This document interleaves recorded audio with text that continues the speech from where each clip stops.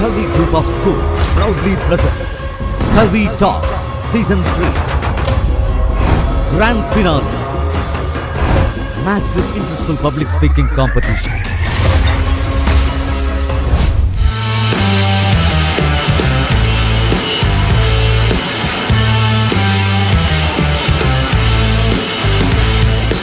India have achieved a huge success in the field of space exploration. Hello everyone, I'm Indhumathi from Kalvi International Public School, Nagari. Today, I would like to talk about an incredible mission called Chandrayaan 3.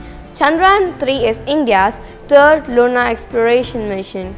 You might be wondering what Chandrayaan 3 is all about. Well, it's a spacecraft that is sent to the moon by the Indian Space Research Organization, ISRO. Its main objective is to explore the lunar surface and gather valuable data about the moon. The Chandrayaan 3 have carried advanced instruments and equipment to study the moon's surface, its atmosphere and even search for water and minerals. This mission helps scientists understand more about moon's origin, its geological feature and its potential for future human exploration. The previous missions, Chandrayaan 1 and Chandrayaan 2 were a huge success.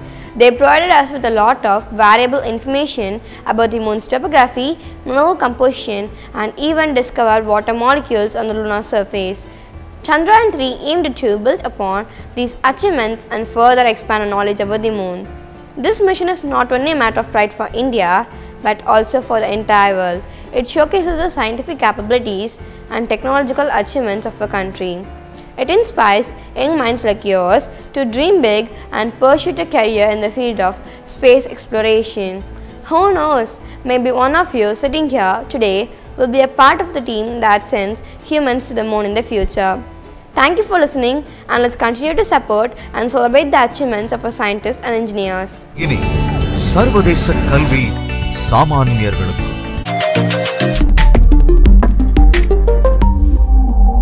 group of schools.